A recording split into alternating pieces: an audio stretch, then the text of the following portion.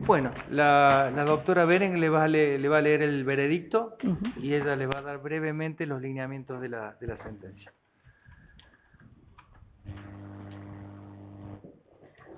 Bueno, de conformidad a las disposiciones del artículo 188 y subsiguientes del Código de Procedimiento que rige la materia, voy a dictar el veredicto, eh, toda vez que voy a ser quien realice el primer voto sin perjuicio de la presidencia en la audiencia del doctor Vaquero Lascano.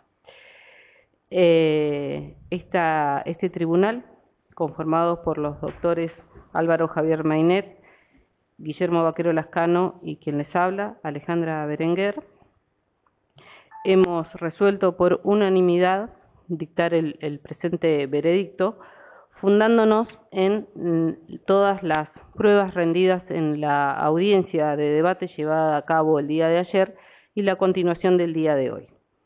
Consideramos eh, que el hecho traído por la Fiscalía y que constituyó la teoría de su caso en la acusación en contra del señor Renzo Facundo Díaz, eh, lo consideramos acreditado en función de las testimoniales rendidas, sobre todo la testimonial que fue muy contundente del señor Neira Realpe, víctima en las presentes en la presente causa, y también eh, los testimonios de los empleados policiales que rindieron su declaración aquí.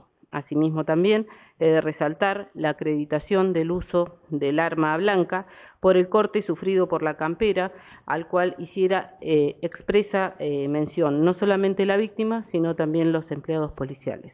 A todo ello debo sumarle la confesión que ha efectuado en el día de la fecha la persona traída a este juicio como sospechado. En función de todo ello, como fundamentos mínimos del presente veredicto, el tribunal por unanimidad declara, declara culpable a Renzo Facundo Díaz del hecho que fuera acusado por la Fiscalía y fuera materia de este juicio, calificado como robo calificado por uso de arma en grado de tentativa en función de las disposiciones del artículo 166, inciso segundo y 42 del Código de Penal argentino. Como segunda cuestión, eh, fijamos fecha para la lectura de la sentencia el día jueves próximo, eh, que es 2, creo que es 2, sí, 2 de, 2 de noviembre a las 8.30 horas en la sala que disponga la oficina judicial se va a dar lectura. Eh, eso es todo. Eh, señor Díaz, si no le, quedó claro, lo, lo expliqué bastante sencillamente, pero bueno, la nueva legislación, la nueva ley que rige en esto, dice que una vez concluido el juicio, los jueces debemos dictar un veredicto, debemos eh, hacer un breve análisis de las pruebas que se rindieron, que usted las escuchó ayer, y en, en ese análisis concluir si consideramos a la persona culpable o no. En este caso, nosotros lo hemos hallado a usted culpable del delito de robo calificado por el uso de un arma, blanca en este caso, un cuchillo, en grado de tentativa. ¿Sí? La lectura de la sentencia completa se va a hacer el día jueves próximo a las 8.30 horas.